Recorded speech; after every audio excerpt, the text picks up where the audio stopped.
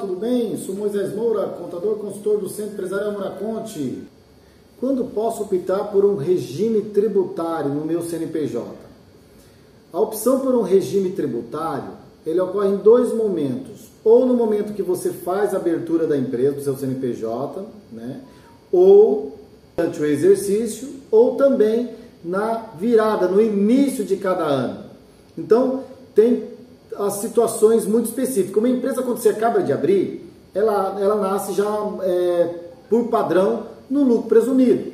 Então, preparando a inscrição na prefeitura e, e, nos, e, e deixando tudo regular nos demais órgãos, você pode pedir a opção do lucro presumido para o Simples Nacional se no seu planejamento de negócio é, já estudou os regimes tributários e percebeu que é mais interessante ela já começar a ser tributada no Simples Nacional. Então, abriu a empresa, ela nasce no lucro presumido, atendeu as exigências no processo de abertura e já fez a opção para o Simples Nacional, então você poderá ser deferido para o Simples Nacional no momento da abertura.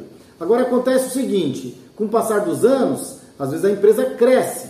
E aí, aquele Simples Nacional nem sempre mais é vantajoso, porque às vezes, quanto mais você aumenta o faturamento, quanto mais você fatura, vai subir na tributação e às vezes você está numa, está numa carga tributária de 19% no Simples Nacional.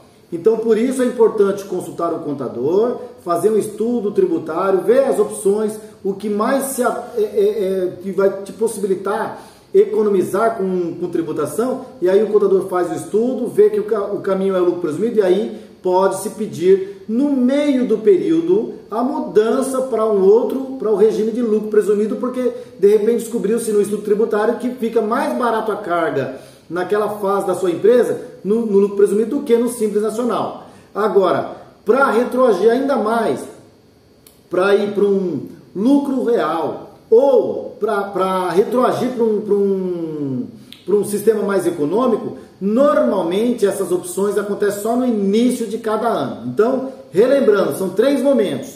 No momento da abertura, para subir de regime, regime tributário do Simples Nacional para o lucro presumido, pode ser no meio do período e para retroagir ou migrar para o lucro real no início, no mês de janeiro de cada ano.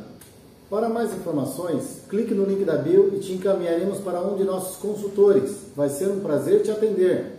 Se inscreva em nosso canal no YouTube e não deixe de nos seguir nas redes sociais, no Instagram e no Facebook. Curte e compartilhe o nosso vídeo. Você também pode mandar mensagem, chamar nosso, nosso comercial através do site www.mouraconte.cnt.br.